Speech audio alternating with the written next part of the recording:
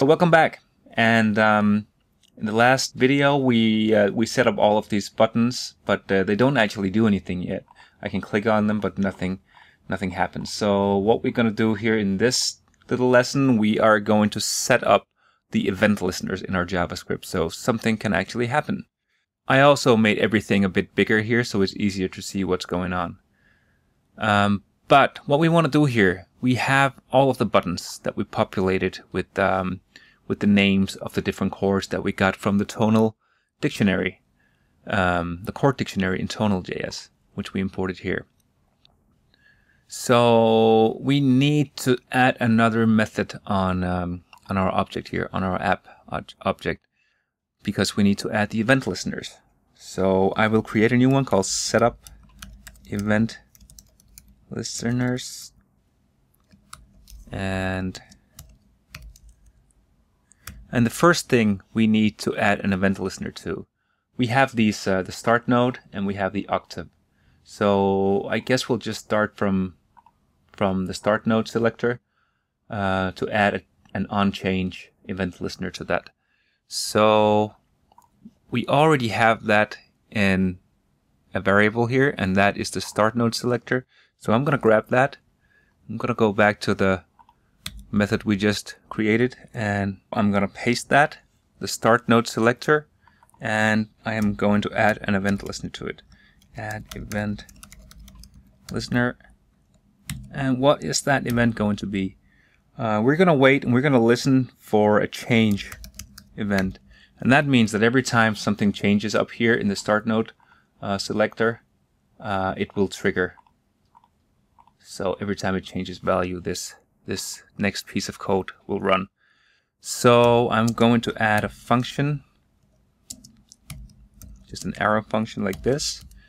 And inside here, we will um, we'll write some code to let the program know what to do every time you change this uh, start node drop-down menu. So we have to find out what uh, what the value of the start node selector is. So let me first up here create a variable uh, let's call it, what should we call it? Maybe selected start node.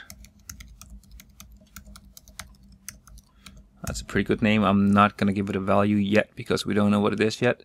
Uh, and go back into the setup event listeners method. So here we are going to put something into that variable and that was selected start node. And we're going to set that equal to whatever the value of this start node dropdown is right now. And that's the start node selector. So start node selector dot value. Yep.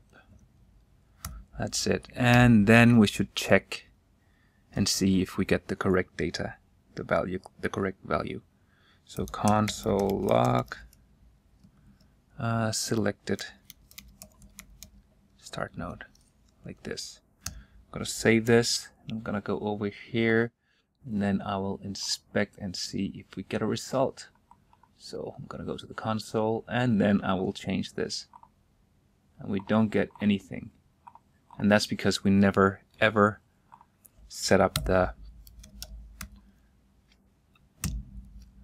the um, event listeners there. So I always forget to do that. I'm used to everything happening totally automatically, but not in vanilla JavaScript. Okay, let's see if it happen if it works now. And it does. Every time I change this, we console log the value of, uh, of the selected start node. So, so far so good. Uh, we need to kind of do the same thing with the octave. And uh, we already grabbed that too, so let's do exactly the same thing. Um, let's create a new variable let selected octave. I'm not gonna give it a value just yet. And we have octave selector, so I'm gonna grab that. And we're gonna go back to our event listeners and I will say add event listener. And that's gonna be the same event type. It's a change. Change and what will we do? We need an arrow like that, yes.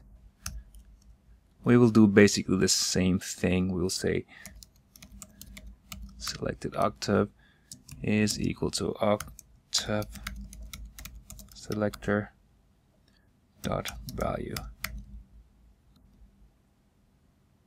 And that's it. And let's try and console log that as well.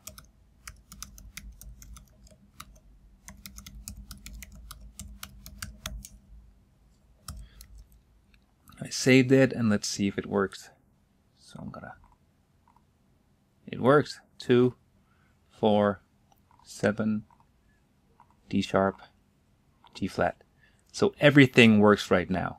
Or not everything, but these two work. So we just need to set up the event listeners on the buttons here.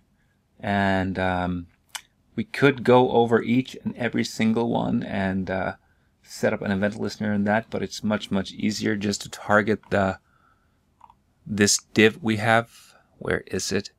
This div right here, our buttons div, and then find out what the target is. So let's do that. I'm going to go back to my index.js file, go scroll up here and see that we already have this, the buttons div put into a variable. So let's use that. I'm going to go back to our setup event listeners method and I'm going to type out buttons. Add. Add event listener. And in this case it'll be a click because we're going to click on the buttons. So we're going to listen for a click and every time someone clicks on the button we will run this code. And what we need actually we need to get the event so I'm going to type in the event pass in the event here. And let's in let's just try to console log the event to see what happens.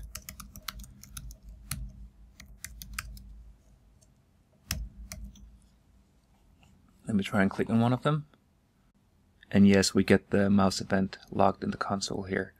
So that's not what we want. We want to get the target. So let's try that.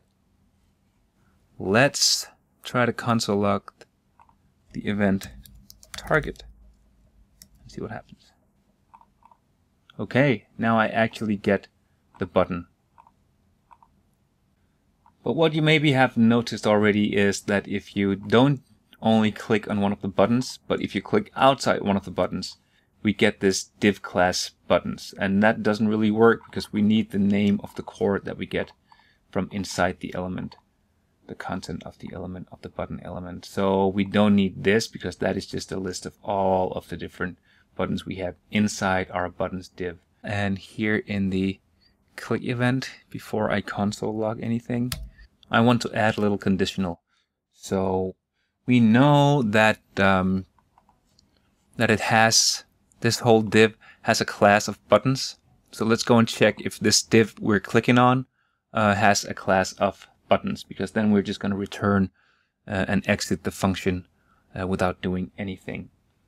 So I am going to type if um, event target class list contains. So if this target that we're clicking on when we're clicking outside of the buttons has a class of buttons. Then we're just going to return, so nothing will happen. So let's check if that works again. I can click on the buttons, that still works, but if I click outside the button, nothing happens. So, but we want something to happen, and that's, we will put that code right here we want something specific to happen every time we click on one of the buttons because we want to get the information about this particular chord and we want to display that information about about it up here. The notes in the chord and uh, and the intervals that it's made up of. Um, but we so we have to kind of uh, create a new method for that or I want to create a new method for that because it's probably going to be a couple of lines of code. So let's type display chord info. That's our new or brand new method here and I want to pass something into this method. I want to pass the name of the selected chord. So before we can do that, we need to create a, um, a variable that contains the selected chord. So just like I did before, I'm gonna create a new variable here and call it selected chord. And then down here in our event listener, I'm gonna type out selected chord.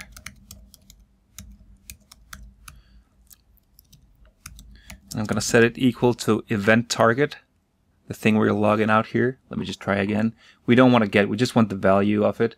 We don't want the, the button tags. So I'm going to go event target.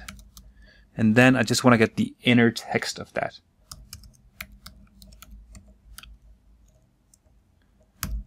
And let's just try and see if that works. I'm going to try to console log the selected chord instead. Whoops, what the heck is going on? That's better. Save it. Let's try and check. And I get the names of the chords right now instead of uh, all the other stuff we got before with the with the tags. We don't need that. So this is great. So now we have the information that we need to pass into the new method that we created before, and that is selected chord.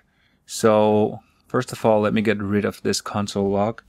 And I am going to call this method this display chord info and I'm going to pass the selected chord to it. And just to make sure that it works, got to make sure to type this in here as well. I will console log it out here.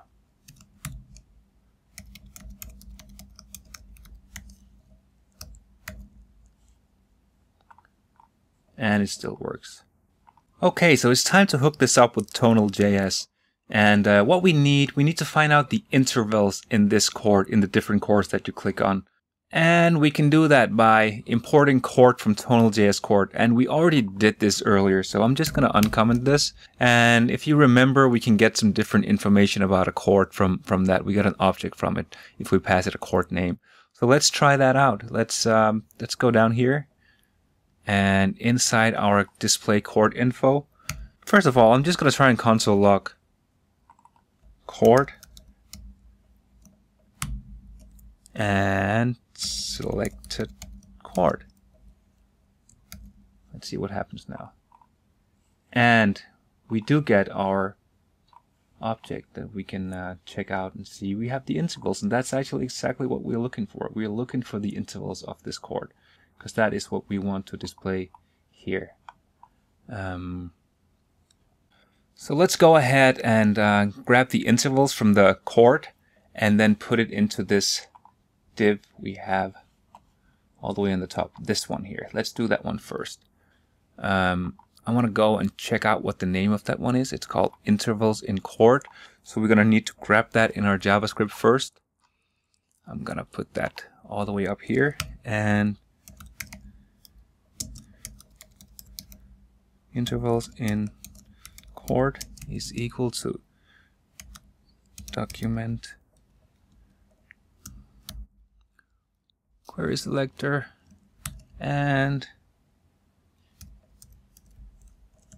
this class name. Uh, and then we can go ahead and we can give it a value. So if we go back down here, we can go ahead and we can set the inner text to chord that we imported from Tonal.js and select chord and then we should get access to the intervals here. Let's see if that works. And something's happening. And you can see it's comma separated because it's uh, it's an array that we're getting. Um, so let's do some, something about that. To make it a little bit more simple, I think we should put that in its own variable. So let's call it let's call it chord intervals. So let's make a variable called chord intervals and let's set that equal to what we just found out before chord and let's pass it the selected chord. And then let's access the intervals. Just like this. And then let's try this out. Um, let's say we want the intervals in chord that we grabbed before uh, and just set it equal to this. It should be the same result, but uh, it's a little bit easier to understand. So let's try that. And it still works. So what I want to do here instead, to make it look a little bit better, let's just take this uh, array and let's join it. And let's join it with this. And that should that makes it looks much much better. So now we have we have it up here looking way better than before. Uh, and in the next video, I will show you how to take these intervals and transpose them so we actually get the correct chords that are selected up here. So if we select this and 4, we have E in the fourth octave, we should get the correct notes up here for that chord. See you in the next video.